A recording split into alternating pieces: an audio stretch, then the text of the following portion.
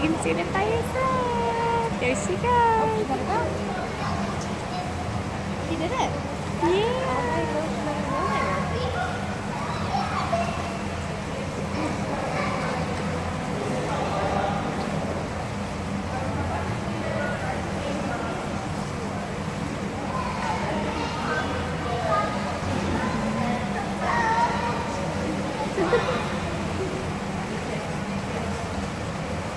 Gracias.